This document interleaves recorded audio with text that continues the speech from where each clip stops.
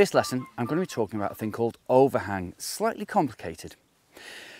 Let's talk about the fly line. Well, we know that the fly line is comprised of two parts, the head and the running line. And the head is the bit that loads the rod. The head on this fly line is 36 feet long. So to fully load this rod, I need 36 feet of line out of the tip of it. Understood?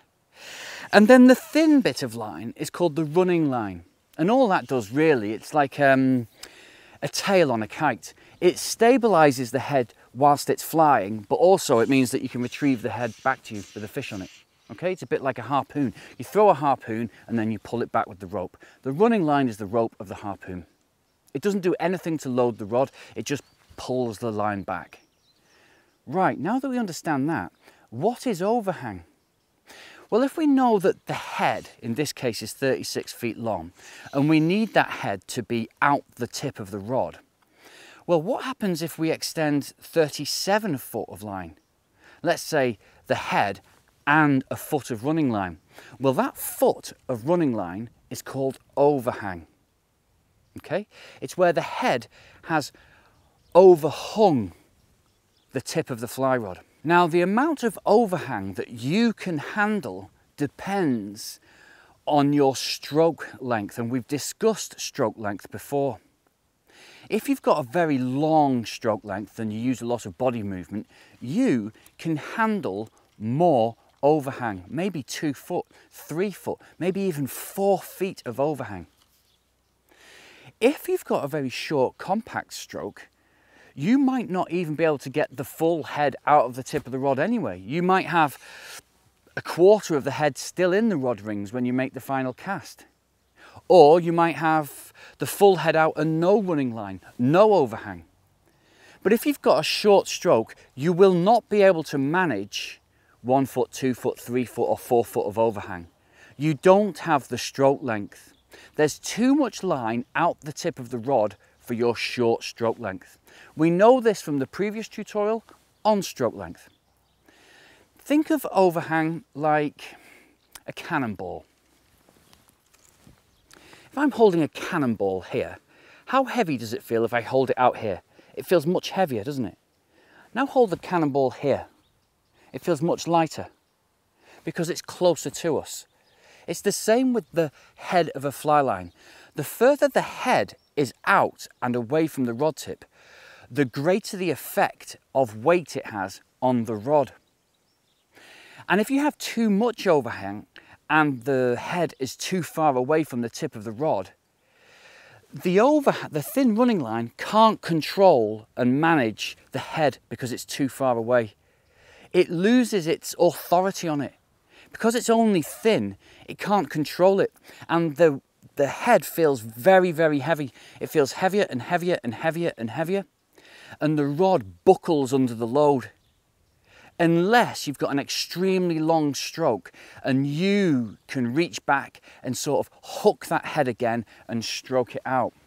But if you've only got a short stroke, having too much overhang is going to cripple your cast every time. Let me show you in real time what overhang is. This line is called a short head line and there's a trademarked innovation that I made called an overhang marker. It's this red section of line. Okay, we've got the white head of the fly line now here at my line hand there. That's the beginning of the head there, okay? And then we've got this red section. That's called the overhang marker. And then the overhang marker runs out and we go back to white running line. So we go head, overhang marker, running line. Now, there are two colour fly lines out there, but they don't have an overhang marker on. What do I mean? Normal two colour lines, here's the head, and this colour change happens at the running line, and then this bit stays red for the whole running line. That doesn't tell us how much overhang we've got. If the line is red all the way back through to the running line, you can't gauge it. You can't gauge how much running line there is. And you can't gauge how much is too much overhang. This overhang marker has been designed to tell you do not go past this red bit here. If you've got this bit of white running line out of the tip during false casting, you've got too much overhang. This back end of this overhang marker here tells you that is the maximum amount of overhang you can have for this particular line. Let me show you. Okay, we know how to slip line. I'm retrieving, retrieving, retrieving. The head starts at my hand here and I know I want the head to be out the tip of the rod to load the rod fully. So let's start casting and slip that head out. There we go. It's now out the tip of the rod. And just at the tip of the rod, the overhang marker starts and it runs for approximately nine feet to this stripper ring. So at the moment, I've got the full head out, but I've got no overhang.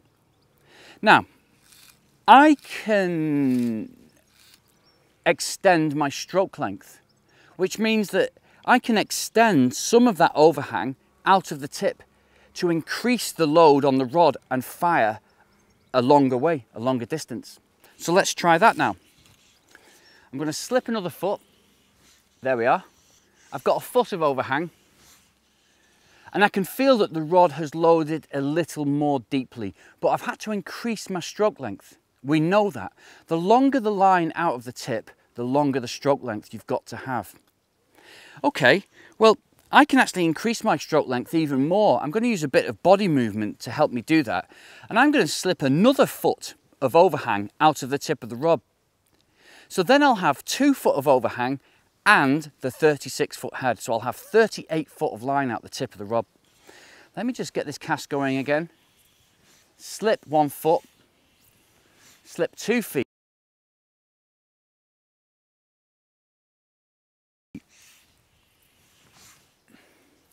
Okay, I've actually slipped three feet of overhang now.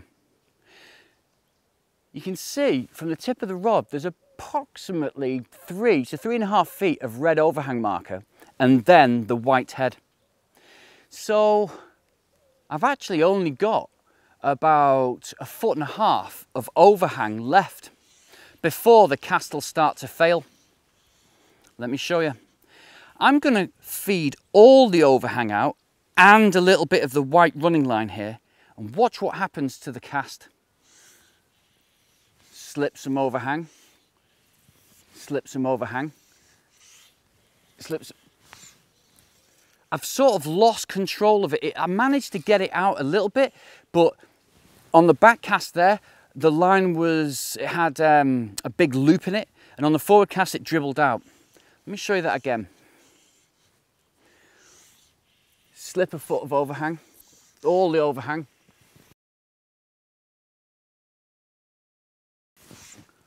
And look, the cast has sort of lost all its energy and collapsed. It's because the thin running line can't manage the head because it's too far away from the rod tip. It's lost its connection with it and the head feels too heavy and it almost feels as though it's not connected to the rod anymore. I've got too much overhang. Now, I happen to know that because I've got an extremely long stroke length, I can handle more than this red overhang marker shows.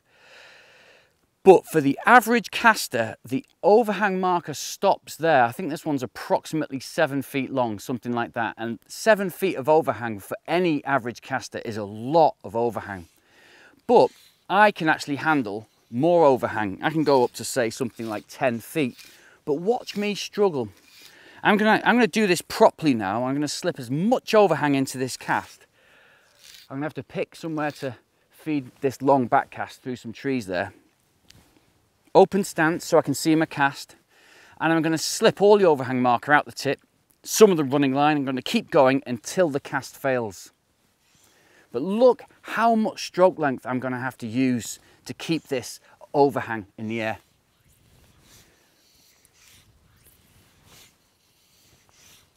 Oh, it's beginning to fail now yeah, it's failed.